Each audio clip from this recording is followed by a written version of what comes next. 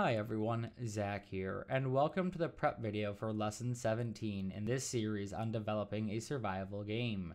This prep video and this series have been brought to you by Patreon sponsors. That said, let's make a start. In this tutorial, we'll be setting up our item structure, and in particular, we'll be setting up our child and subchild classes to do so. We'll be focusing mostly on our food, and therefore we'll be creating two test food items. There will be one from our herb class and one from our meat class. Don't worry, we haven't created those classes yet. That's part of today's lesson. And we'll also set up an event for when we do eat food. Now, this event will not be fully functional, and it won't be fully functional until we complete our menus, but we're setting it up so we can very easily tackle the eat event. To do this, we need to explore abstraction. And we've already talked about abstraction. We've talked about it with regards to function and data abstraction, but there's multiple types. So some types are function, data, as we're already aware, and class-based abstraction. Now we're going to review function data real quick and then focus on class-based abstraction. So Function and data are things we've already discussed, as I've said a couple of times now, and we've already used it. With regards to functions, we have things like check has stamina. With data-based abstraction, we have our B is discarded in our inventory master, which is a private data type, which is an abstracted data type.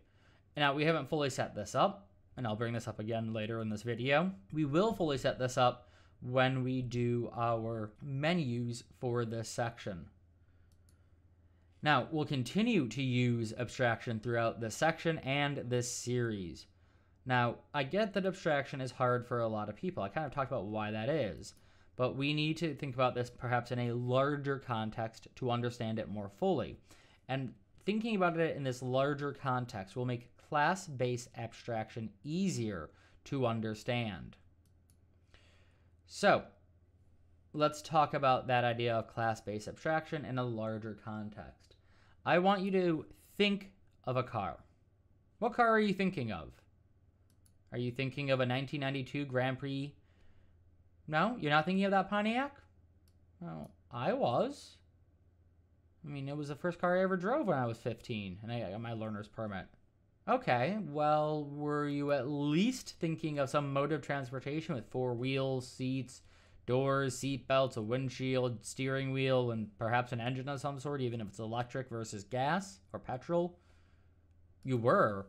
Okay, good. That's abstraction. We have a basic concept of what a car is. And for people with some background in psychology, think schema. We have some order of classification that we group things in. It doesn't matter that a 92 Grand Prix is different than a Ford Mustang, is different than an Aston Martin. They all have things in common. They have wheels, they have engines, their modes of transportation, what have you. That is abstraction. We have an idea of categorization, and from that we can have different things with under it. So the Grand Prix, the Aston Martin, um, what have you. But the car, the idea of a car, is an abstraction.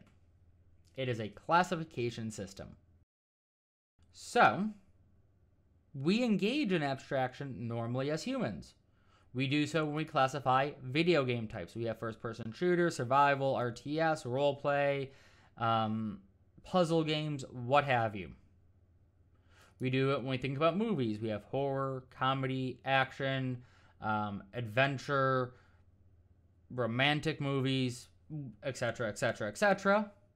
And while sometimes there's overlaps, like romantic comedies, survival RPGs, first person RPGs, action RPGs, etc., etc., there are base elements from those other classes, classes in quotes here, and base in quotes as well, literally in this case for the word base, that are being used to fill in our understanding and our expectations.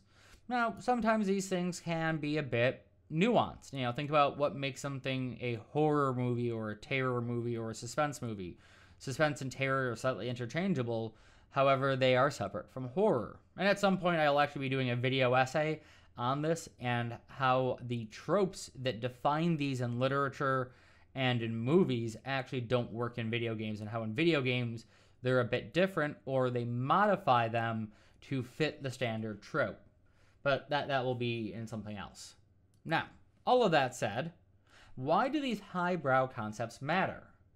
Well, good abstraction makes game design easier, and it, as I've said in the previous prep video, minimizes the need to repeat code. Also, why I gave you that challenge a couple of videos back. Think about this for a moment. Take a classic arcade game like Asteroids.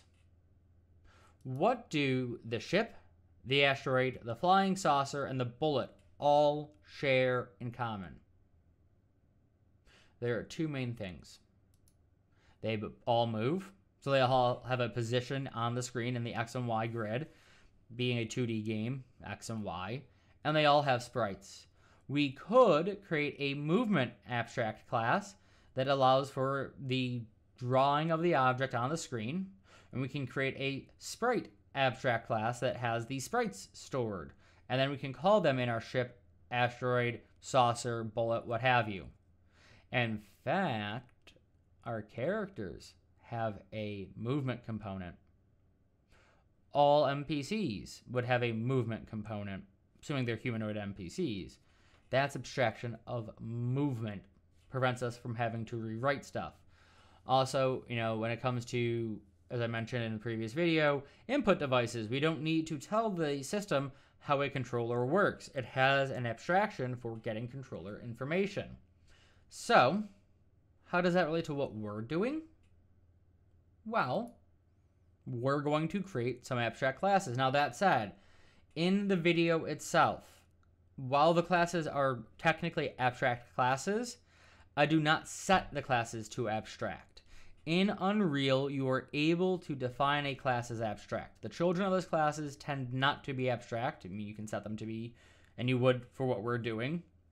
And it prevents you from setting them in the map. In fact, actually, you'll see in the video that I try to pull one of the uh, master files onto the map, and I do that by accident. And that's just simply because I haven't set it to abstract. I will do that by the end of the section.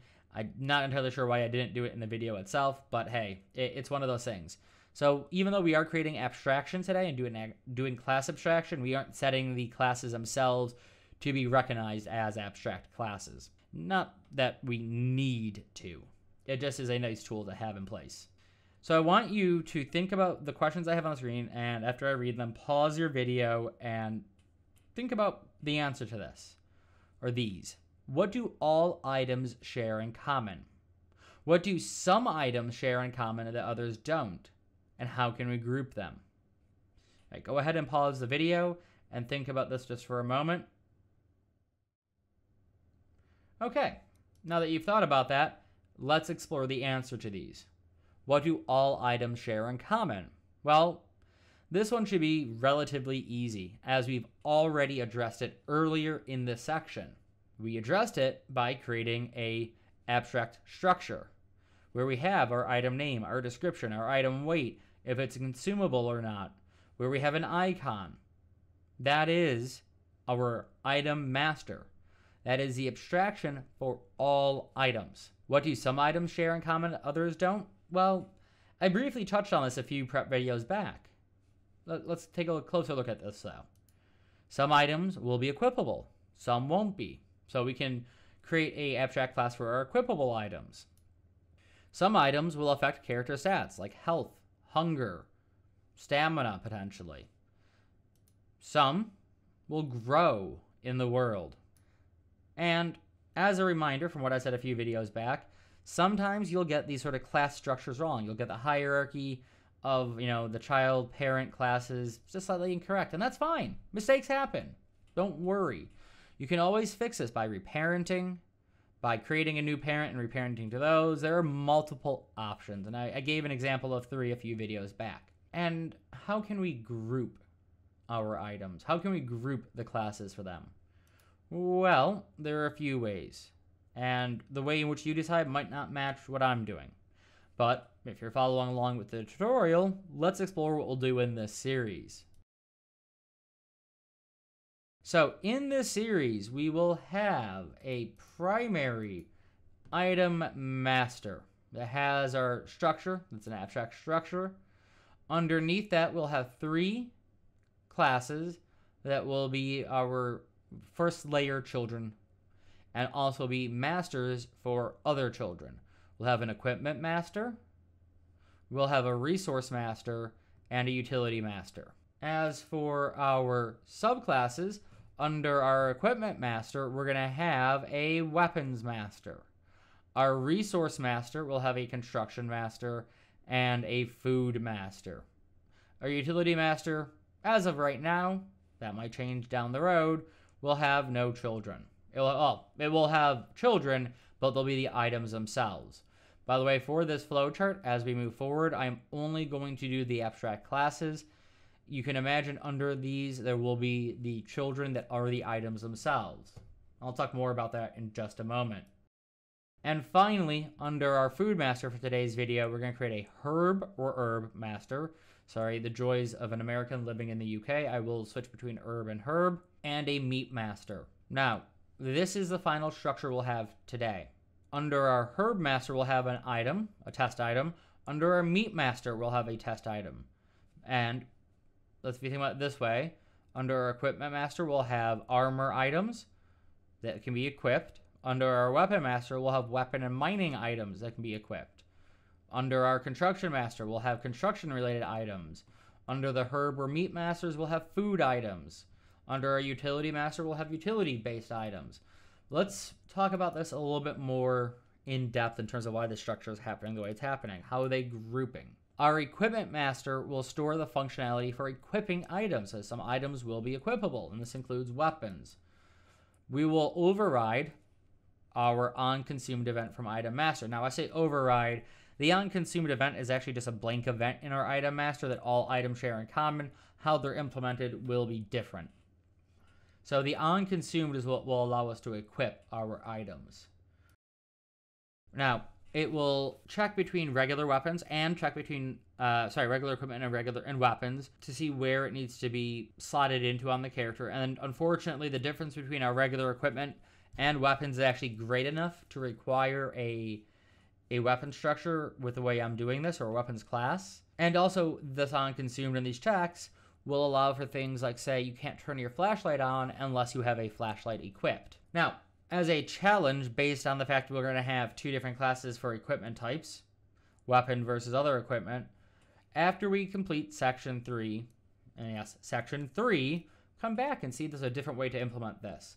That said, of course, we will be setting our equipment mostly up in Section 3 because Section 3 will focus on equipment. As for a utility master, well, our utility master will store functions for other items like ammo, batteries, information stroke data shards, or whatever you want to call them. And these will be consumable in their own way. So we're not going to focus too much on this, mostly because I haven't implemented this in the test file yet, so I don't have much to say on them. As for our resource master, that's where we'll be spending the bulk of this section. Our resource matter master will store functionality for all directly consumed resources except for ammo or flashlight batteries.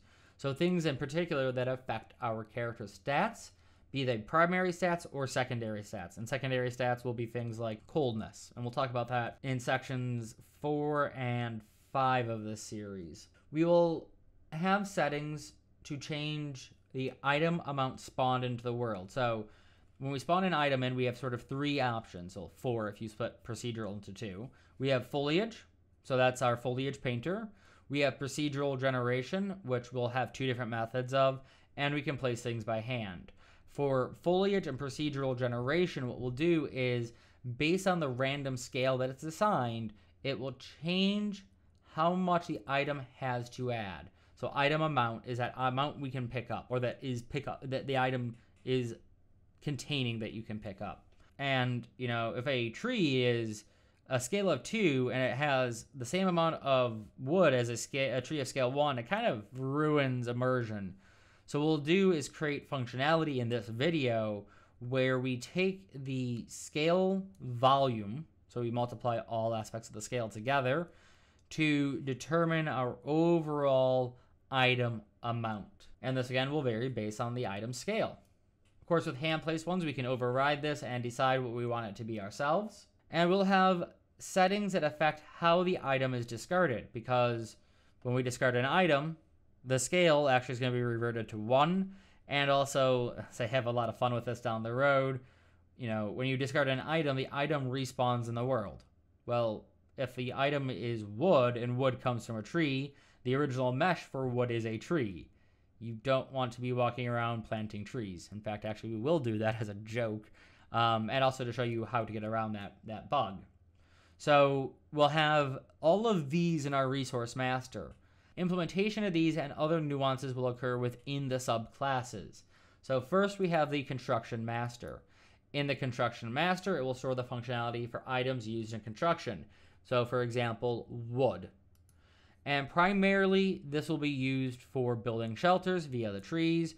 Um, I say wood is auto-collected. Technically, it isn't. You actually will trigger the collection event but when the item is spawned into the world, it is auto collected. It's a bit, it's kind of both auto collected and uh, manually harvested. But we'll talk about that more when we get to section five. In section four, sorry, section six. In section four, when we do this, um, it will be purely manual harvesting. There will be secondary functions built in for other supports, so secondary supports, so building fires, building um, traps, if we include traps, and what have you. And we will mostly set this up in section 4, the construction master. The utility of the items we're picking up we'll do in section 6. Now, our food master, which is where we'll spend most of this tutorial, will store functionality for all food-based items. Herbs, or herbs again, sorry for the American living in the UK here, will be able to be spawned into the world, and will always be harvestable. So it's not auto collection. We'll have to press a button for this. However, meat items will be found via hunting and will be auto collected. So if you ever played No Man's Sky and you're using the little mining laser on a tree and you have those blocks flying towards you and you suddenly pick up the resources, that's what's going to happen with meat. Except for we're probably not going to have the meat fly at you because that'd be horrifying to see and probably not fit with the immersion of the game world. So when you kill an animal, it will drop its meat, which sounds so very weird, I realize, and you're able to walk up to it and just auto collect the meat, assuming there's space in your inventory. Now, both of these will affect the character hunger, so the food master will have, in particular, things around character hunger. Meat and herbs will have the various parts for being collected versus auto collection. All of that said, that covers kind of what we need to know for today's video. So I hope you've enjoyed this prep video, and if you have, or if you just enjoyed this series, please hit that like button down below. And if you want to make sure you're here when the rest of the series comes out, hit that subscribe and notify bell. If you don't hit the notify bell, YouTube might not decide to tell you about the new video until way later. This series, as I mentioned at the start, have been brought to you by Patreon sponsors. Sponsors like Quad Menson, Rian, and Haynes. That said, I look forward to seeing you in the main tutorial, and I hope that you have a wonderful day.